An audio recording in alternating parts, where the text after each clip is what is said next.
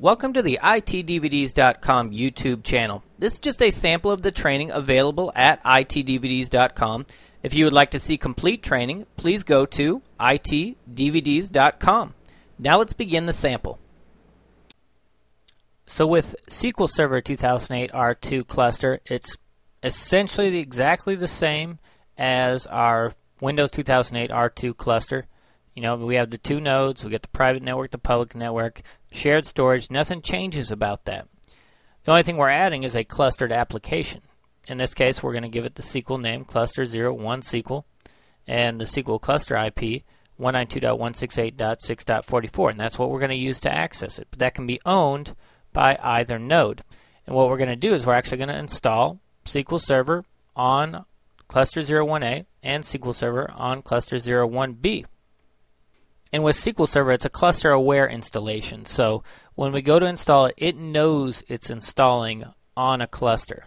So it does special installation, especially when we get to the second node. We're just adding it to the cluster. And then we're also going to add a third node, cluster 01C, which is going to be essentially the same as cluster 01B. It's going to be connected to our public network, our private network, and the shared storage. It's going to have its own set of IPs that are going to be on each network. So, nothing too special.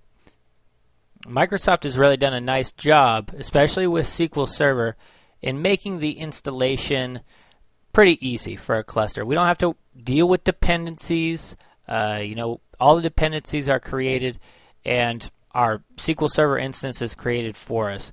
The installation process is a bit long. Uh, it's a pretty large application, so it can take a little while to install.